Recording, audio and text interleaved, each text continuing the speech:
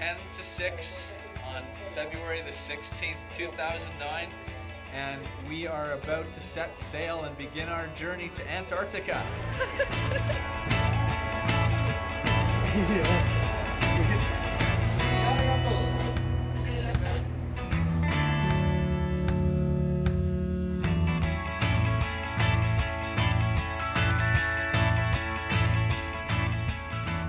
This is always a great feeling.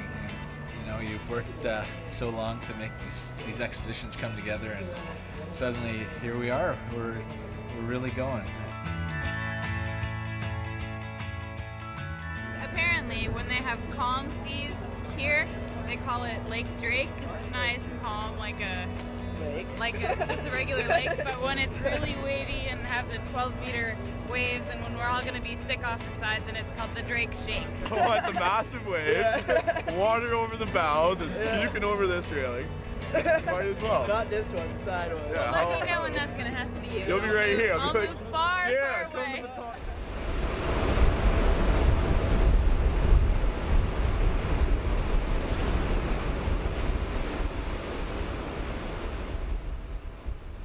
Yeah, make sure you put this in the film, okay?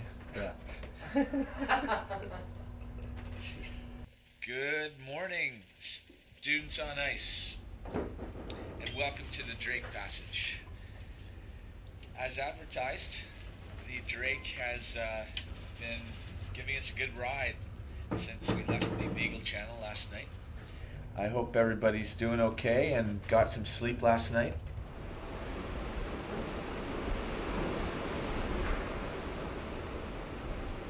Antarctica is an isolated continent, which means that all the waters around it have no interruption when they free flow around the continent in a clockwise direction. And so you've got the waters of the Pacific, the Atlantic, and the Indian Oceans, which are all converging down around the Antarctic.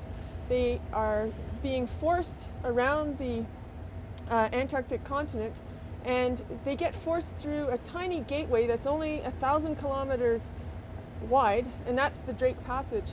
The waters under the Drake Passage are about four kilometers, but the, through the Scotia Arc, which is an underwater mountain chain that comes up, they actually get a bit shallower, so they're about 2,000 meters in some places, or only even 1,000.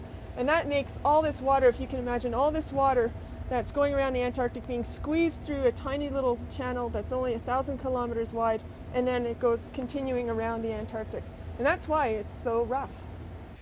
Please take care as you get out of bed and start to move around. One hand for the ship.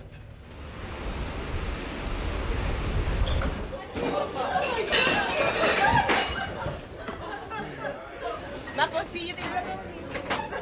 That is really a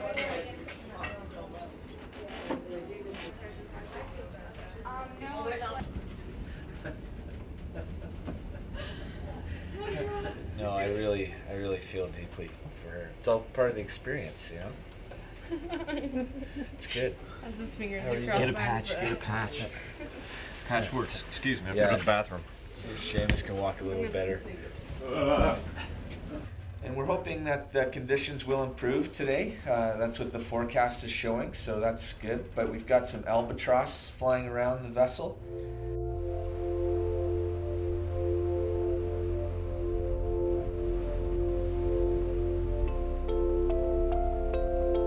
We're now uh, traveling uh, half the way on the Drake Passage, and despite the conditions, we've, we've been able to see a number of interesting birds. Uh, the largest of the flying birds, the wandering albatross and the royal albatross. Seen also a number of uh, black-browed albatross and um, an incredible amount of different petrels, including white chin, Cape or Pintado petrel, uh, some uh, shearwaters, fulmars, uh, blue petrels, and uh, some of the, the smallest ones, the Prion and uh, stormy petrels, the Wilson storm petrels to be precise. So all these birds are adapted to a life in the ocean. This is uh, home, aside from how difficult it may look to us. This is where they spend most of their lives. And the only reason for them to go ashore is uh, to breed, because they obviously can't build a nest in these waters. And uh, they go to uh, very uh, extreme areas where they find the conditions they need to breed and they're free of predators. But uh, the reason why they live here is because they rely on the wind to cover huge distances to be able to find their food and there's always some wind in these oceans and so they can cover enormous distances, sometimes thousands of kilometers to find a, a very good patch of food where they can uh, feed themselves and bring food back to the nest uh, for the chicks.